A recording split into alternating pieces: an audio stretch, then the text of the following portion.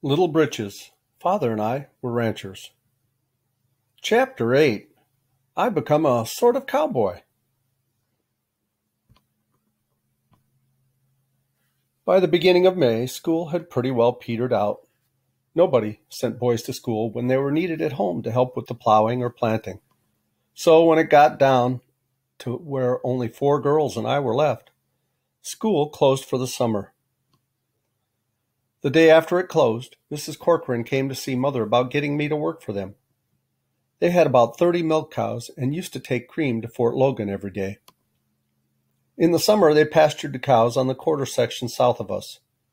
Because there weren't any fences, somebody had to herd them to keep them from getting into Altland's and Carl Henry's grain fields. She said she would pay me 25 cents a day, and I would only have to work from seven in the morning till six at night. I guess mother thought they herded cows on foot in Colorado, as they did in New England.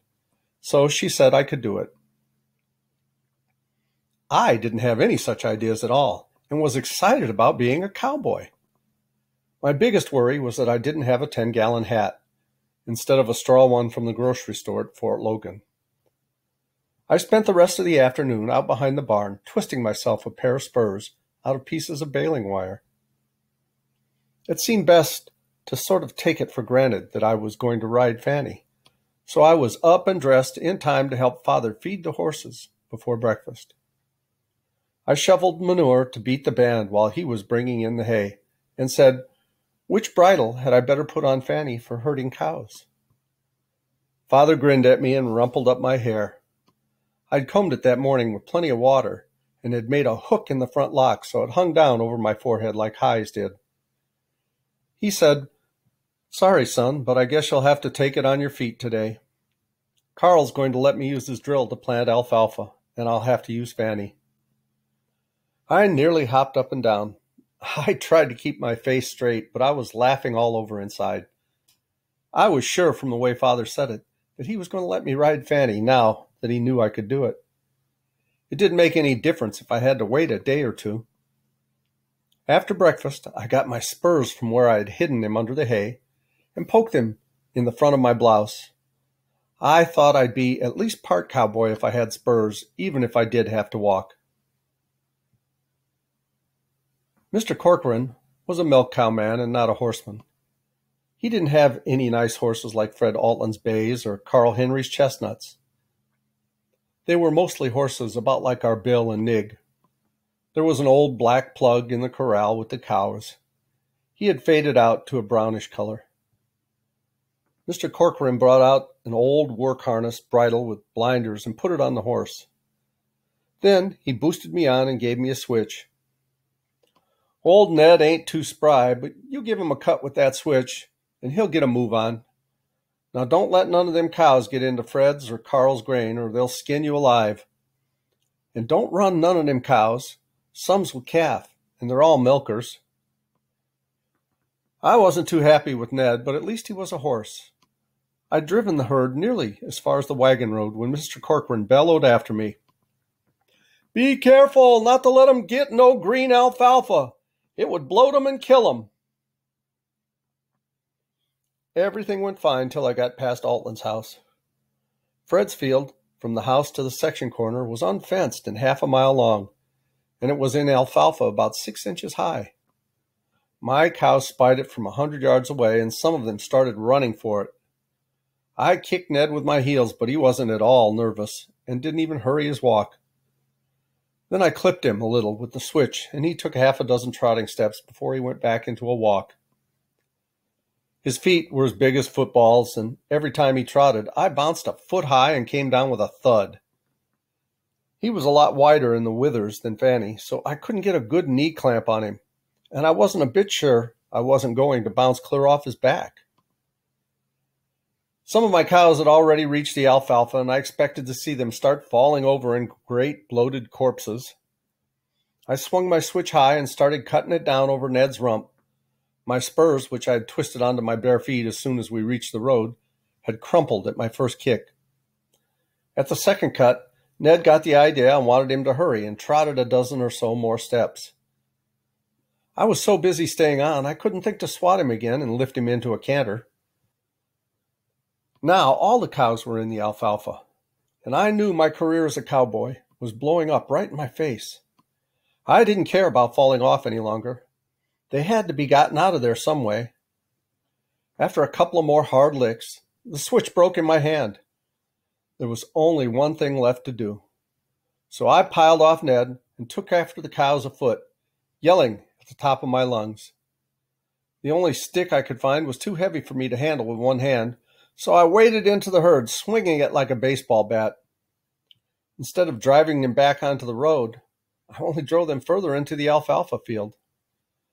I was so busy swinging and yelling that I didn't see Fred until his tall bay horse was almost on top of me.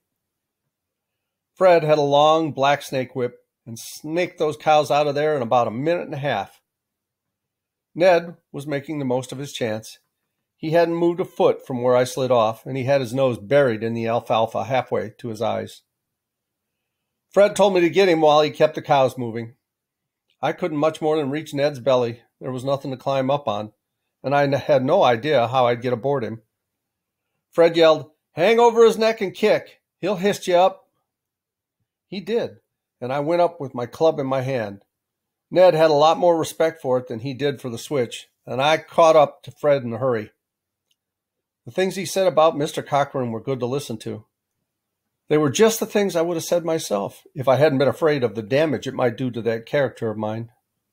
I wished father had never told me about it. Fred helped me till we got the cows over onto the piece of prairie where I was supposed to pasture them. Then he gave me his black snake and told me not to be afraid to lay it on him if I had to. I had forgotten all about my spurs, but Fred saw them and laughed. He said that baling wire was the only thing that had held the state of Colorado together, but he'd bet I was the first one who'd ever made spurs out of it. Before he left, he showed me how to swing the black snake so as to make the cracker pop right behind a cow, and said to let Ned have the handle across the rump if he wouldn't go. Then he told me to try to keep the cows bunched pretty well in the middle of the quarter section, and that he'd have one of his men come to help me take them home at night. It was a terrible day. The quarter section wasn't flat like our place, but it was all rolly hills, and those cows knew more tricks than Hi's Blue Roan. As soon as Fred was out of sight, they started spreading out in all directions. I beat the tar out of Ned trying to make him go fast enough so I could keep them rounded up, but the most I could get out of him was that clumping trot. While I was driving back a few stragglers on one side, others would head for Carl Henry's oat field on the run. When I came back with the first bunch that tried it, I found that I only had 19 cows left in the herd. The rest had got away over on one of the hills. I beat on Ned's rump and went to hunt them. His trot was pounding the dickens out of my behind, and it was getting awful tender. I had worn off a piece of skin the size of a silver dollar. Ned had started to sweat a little right where I was trying to sit, and the salt and the sweat made it sting like blazes. When I got over the hill, I saw my strays a quarter mile away, heading for the oat field. They were in it before I could catch up to them. Father must have been watching me from where he was sowing alfalfa. I had left Ned and was wading around in the oats, trying to drive the cows out with the black snake. I couldn't handle it very well when I was on horseback, but it was almost useless in the oat field. I didn't have strength enough to keep it in the air through the backswing, and the cracker got tangled in the oats. I guess my yells were getting sort of warbly, and I was about ready to cry when father showed up on Fanny. He got them out of there in no time, helped me to collect the rest of the herd, and bunched them way over on the east end of the quarter. Four more times he had to come to my rescue before six o'clock, and then he helped me get them back to Corcoran's. After we had the cows in their corral, Mrs. Corcoran came out from the house and tried to give father my quarter. He nodded his head over toward me and said, Give it to the boy. He certainly earned it. I don't think Mrs. Corcoran liked what father said because her face got a little red. She passed the quarter up to me and said, Now don't go and lose it the first thing you do. Then she said to father, Too much money ain't good for children. These young uns nowadays have no idea the worth of a dollar. I don't know what things are coming to. Father only said, Better slide off him, son. Mother be waiting supper for us.